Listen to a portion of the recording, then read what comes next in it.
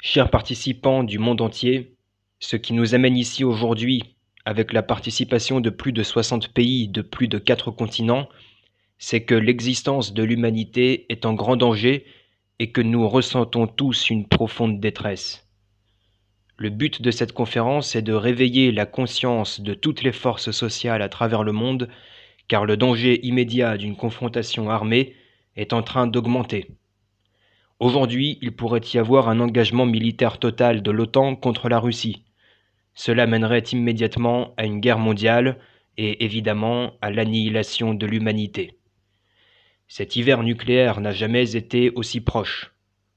Donc le but de cette conférence est de démontrer le plus puissamment possible qu'il existe une alternative accessible d'un nouveau paradigme qui laisserait derrière nous cette menace mortelle et permettrait d'amorcer une nouvelle ère dans l'histoire humaine en cohésion avec la vraie nature du genre humain, c'est-à-dire notre capacité de raison.